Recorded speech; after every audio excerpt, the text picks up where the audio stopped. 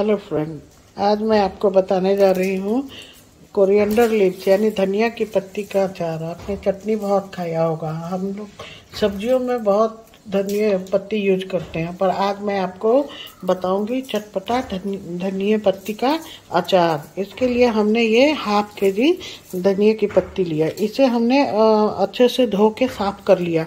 और इसे एक हम पेपर के ऊपर इसे सूखने डाल दिए। और इसे एक धूप में नहीं रखना है। छाँव में ही इसे सुखाना है। और वो भी इस, एक बात और, इसका डंठल हमें बिल्कुल नहीं तोड़ना। डंठल के साथ ही हम इसे चॉपर मशीन से काटेंगे या बारीक चाकू से काट लेंगे।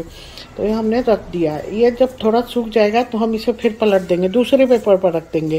पेपर जो है इसके पूरे पानी को अच्छे से ऑब्ज़र्व कर लेगा। और इसके बाद हम बताएँगे एक बार धनिया पत्ती पूरी अच्छी तरह सूख जाए, फिर मैं आपको आगे की रेसिपी बताऊँगी। इसमें क्या क्या चीज़ लगेगा। जब हमारी धनिया की पत्ती अच्छी तरह सूख गई तो अब हम इसे चॉपर मशीन में डाल के अच्छे से काट लेंगे। और अगर हम चॉपर मशीन आपके पास ना हो तो कोई बात नहीं आप इसे बारीक बारीक करके चक्कू से काट लीजिए।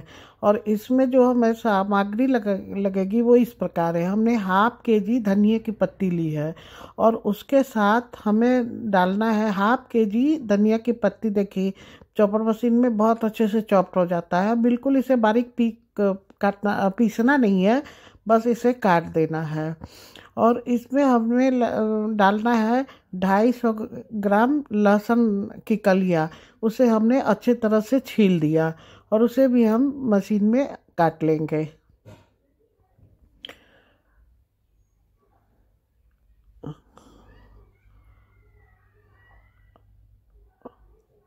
ये अचार बहुत ही चटपटी और बहुत अच्छी होती है। ढाई सौ ग्राम हमने ये लहसुन भी काट लिया और ढाई सौ ग्राम ही हमें अदरक लेना है और ढाई सौ ग्राम ही हमें हरी मिर्च भी लेनी है। और कई बार आप सोचते होंगे कि धनिया की पत्ती की का अचार है तो ये ख़राब हो जाएगा, ये बिल्कुल ख़राब नहीं होगा। आप जब तक चाहें इसे रख सकते हैं। हाँ इसे खुले में, धूप में कभी नहीं रखेंगे, नहीं तो इसका रंग जो, कलर जो है, वो काला पड़ जाता है, वो देखने में अच्छा नहीं लगता। और इसे हम बस इसी प्रकार हम सारी सामग्री को काट लेंगे। एक बार फिर से मैं बता देती हूँ आपको, हाफ़ के जी धनिया पत्ती के साथ हमें लेना है ढाई सौ ग्राम अदरक, उसे छिलका हटा देना है और चॉप बिल्कुल चॉप कर देना है। और ढाई सौ ग्राम लहसुन और ढाई सौ ग्राम ही हरी मिर्च। और इसे हम झटपट काट लेंगे। अगर आप चौ चॉपर मशीन से ना भी काटे तो भी कोई बात नहीं। आप इसे अच्छे से चाकू से बारीक काट सकते हैं या कैंची के सहायता से काट सकते हैं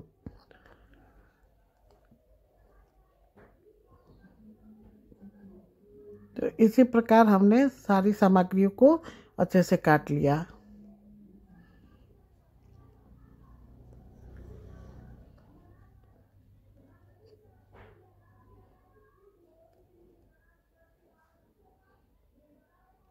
ये हमने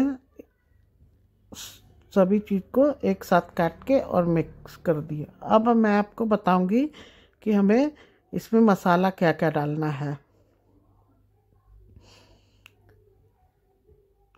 हाँ, सबसे पहले हम लेंगे टू टेबल स्पून सौंप डेढ़ टेबल स्पून मेथी और ए, वन टेबल स्पून धनिया और वन टेबल स्पून जीरा। साबुत जीरा इन सभी सामग्रियों को हमें रो, हल्का रोस्ट कर लेना है जलाना नहीं है बिल्कुल हल्का रोस्ट कर लेना है। ये देखिए हमारा मसाला रोस्ट हो गया। और अब हम इसे ठंडा होने के लिए रख देंगे उसके बाद मिक्सी में इसे दरदरा पीस लेंगे। बारीक नहीं करना है बिल्कुल दरदरा पीस लेना है। हाँ तो ये हमने धनिया की पत्ती लहसुन और अदरक हरी मिर्च इसको चॉप कर लिया। ये सारे हमारी सामग्री चॉप्ड हो गए। हमने इसे चॉपर मशीन में चॉप किया। अगर आपके पास चॉपर मशीन नहीं है तो इसे बारीक काट चक्कू या कैंची से काट ले। तो इसमें अब हम सामग्री डालेंगे। सबसे पहले हम इसमें डालेंगे हींग। और हींग डालने के बाद हम डालेंगे इसमें, देखिए, टू टेबल मतलब डेढ़ टेबल स्पून अजवाइन। वन टेबल स्पून कलौजी इसे हम मंगरेल भी बोलते हैं। अब आपके यहाँ क्या बोलते हैं, ये पता नहीं, पर इसे कलौजी और हम लोग इसे मंगरेल बोलते हैं। और इसी में हम डालेंगे कम से कम टू टेबल स्पून हल्दी पाउडर और ये वो मसाला है जिसे हमने आपको दिखाया था रोस्ट करके। इसे हल्का रोस्ट करके हमने दरदरा पीस लिया, बारीक नहीं किया।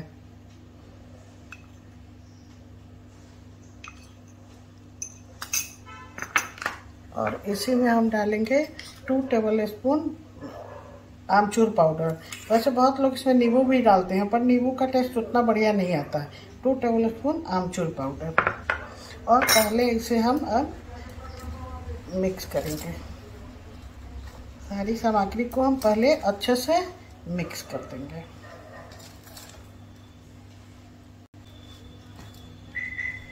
और अब हम इसमें डालेंगे स्वाद अनुसार नमक।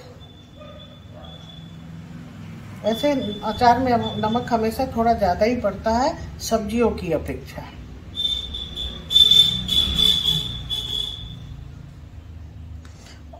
और इसी में हम डालेंगे रेड चिली पाउडर बिल्कुल नहीं डालना है, क्योंकि इसमें हरी मिर्च चोपड़ा वो ऑलरेडी बहुत तीखी होगी। आपकी इच्छा हो तो आप इसमें थोड़ा काश्मीरी लाल मिर्च कलर के लिए डाल सकते हैं, ताकि तेल में डालने के बाद, जाने के बाद इसका कलर बहुत ही अच्छा आ जाए।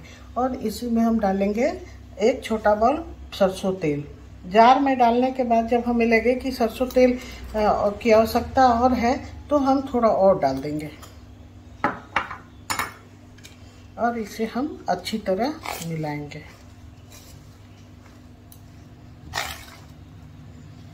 इसमें बहुत ज़्यादा मसाले की आवश्यकता नहीं है।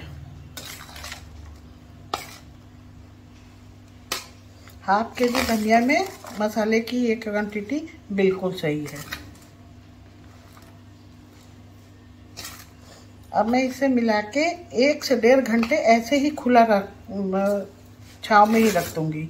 उसके बाद एक और डेढ़, एक डेढ़ घंटे के बाद, लगभग एक से डेढ़ घंटे के बाद मैं इसमें जार में भरूँगी और फिर इसे जार को धूप में बंद करके और धूप में दो तीन दिन तक धूप में रखूँ।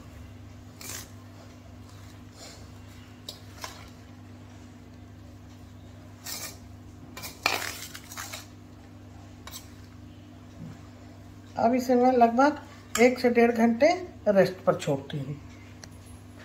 ये जो मसाले डालने के बाद सूखा, बिल्कुल सूखा सूखा लग रहा था, वो बिल्कुल ये गीला गीला से हो गया। अब हम इसे जार में डाल देंगे।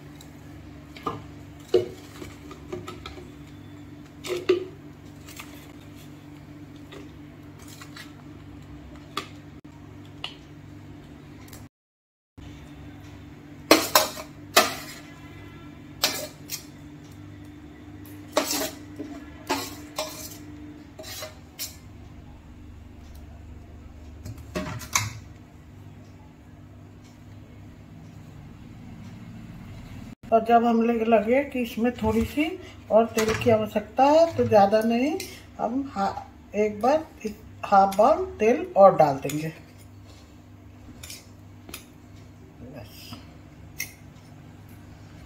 और अब हम इसे बंद कर देंगे।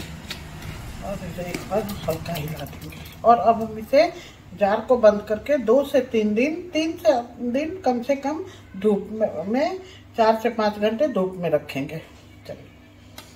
अरे आपको हमारा ये रेसिपी पसंद आया हो तो लाइक करें कमेंट करें और बेल आइटम आइकन को भी प्रेस कर दें ताकि आगे से मैं जो भी रेसिपी बनाऊँ, वो आप तक पहुँच सके। धन्यवाद।